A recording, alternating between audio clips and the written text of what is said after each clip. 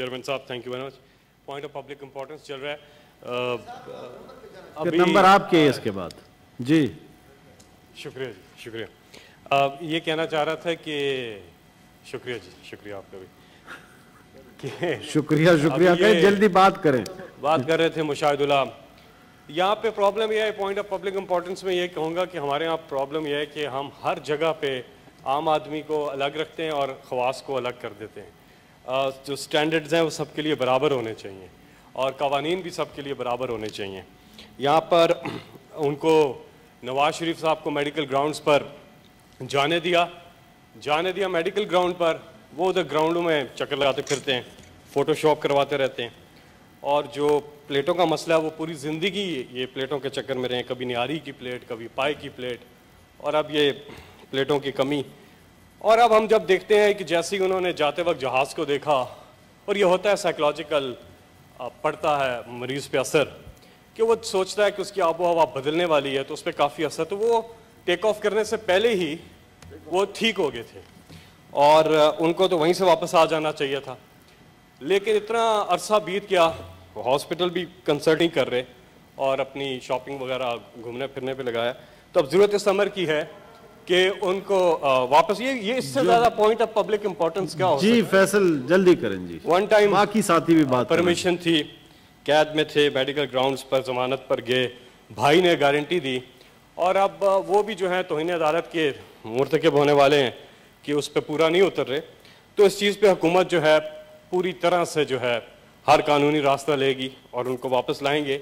यहाँ पे सेहत के ऊपर ख़ास तौर पे अ, जितनी सियासत पी एम एल एन ने की पहले दिन से और अब तक कर रहे हैं। और अभी उन्होंने कहा कि हमने क्या किया? पाकिस्तान का शुमार दुनिया के उन चंद मुल्कों में अब होता है, जहाँ हेल्थ इंश्योरेंस लोगों के पास है। खैबर पख्तूनख्वा की पूरी आबादी के पास, तमाम खानदानों के पास हेल्थ इंश्योरेंस है और सरकार जो है, हुकूमत जो है उनका खर्चा बर्दाश्त करेगी इलाज का दस लाख रुपये सालाना।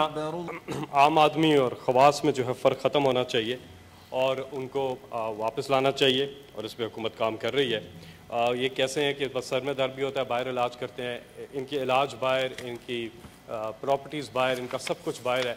और मुल्क सिर्फ़ ये हुकूमत करने आते हैं कभी कभी पाकिस्तान का चक्कर लगाते हैं, थोड़ी देर हुकूमत करते हैं करप्शन करते हैं, जेबें भरते हैं, फिर चले जाते हैं, ये इनका तरीका कार रहा है पिछले तीस सालों से। तो इस किस्म की तकरीरें ना करें, लोगों को सब पता है, आम आदमी रुल रहा है, उसके लिए तो ये सहूलतें, और इन्होंने किया क्या? हॉस्पिटल खैबर पख्तूनख्वा में तो बहुत काम हुआ हेल्थ रिफॉर्म्स के ऊपर भी हॉस्पिटल्स के ऊपर भी काम हुआ, हमारा जो वाहिद CT cardio CT scan facility है, वो हयाताबाद मेडिकल कॉम्प्लेक्स में है, और उसको रेट किया जाता है ज़बरदस्त। उसके अलावा मैंने बात की हेल्थ इंश्योरेंस की कि फ़ी ख़ानदान जो है, दस लाख रुपया सालाना खर्चा जो है इलाज के लिए, वो किसी भी प्राइवेट हॉस्पिटल से, पाकिस्तान के किसी भी प्राइवेट हॉस्पिटल से इलाज कराएँ उसका खर्चा हुकूमत हुकूमत देगी। तो इसी तरह पूरे पाकिस्तान में उसका दायरा कार वसी किया जा रहा है। इमरान खान का जीना मरना पाकिस्तान में, इमरान खान ने यहीं पर अपना इलाज करवाया, यहीं पे सब कुछ है। उनका एक एक एसेट जो बाहर, उन्होंने हलाल की, कमाई की, अपना एक फ्लैट था वो बेचा एक एक पैसा बैंकिंग चैनल से पाकिस्तान. लेकर के आए। तो इमरान खान का सब कुछ यहाँ है। इन लोगों के सब कुछ बाहर हैं और ये ये ये करते हैं। तो बर असर करना ये है कि अब हमें तमीज़ करनी चाहिए। आप लोग भी आ, बिल्कुल ही वो शुरू ना हो जाना है कितने लीडर्स के पीछे।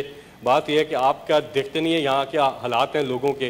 और नवाज़ शरीफ साहब क्या कोई अलग प्लानट के लोग हैं कि उनके साथ खास उनको तो ऐसा नहीं हो सकता?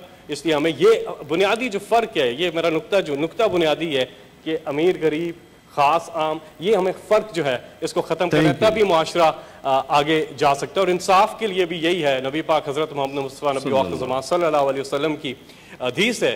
इस हवाले से कि तुमसे पहले उन कौमों को बर्बाद किया गया जहाँ गरीब के लिए अलग कानून था और ताकतवर के लिए अलग कानून था और कमज़ोर के लिए अलग कानून था। थैंक यू बहुत बहुत शुक्रिया।